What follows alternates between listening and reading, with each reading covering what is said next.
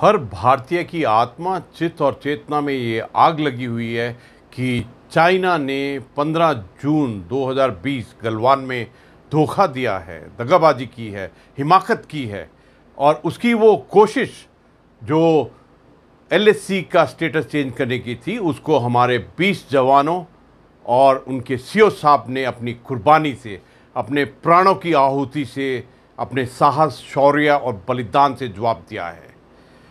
हर भारतीय के दिमाग में ये है कि मैंने अभी चाइना का प्रोडक्ट उसकी एप्लीकेशन को पूर्ण रूप से बाइकआउट करना है। और करना भी चाहिए। देखिए, भारत सरकार ने उनकी हर एक कंपनी को बैन किया है।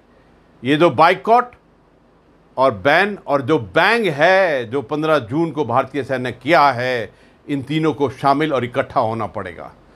मैं तो कहता हूँ कि हर भारतीय अपना निश्चय करे अपने राष्ट्र प्रेम, राष्ट्र हित के कर्म के तहत बाइकआउट करे चाइना के प्रोडक्ट को एप्लीकेशंस को।